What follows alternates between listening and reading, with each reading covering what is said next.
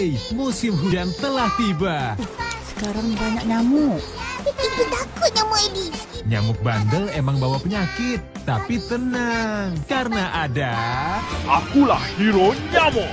Dan aku akan pastikan manusia selamat dari gangguan nyamuk jahat. biar nggak digigit nyamuk, kita rajin bersih-bersih yuk. Upin Ipin episode terbaru hanya di MNC TV.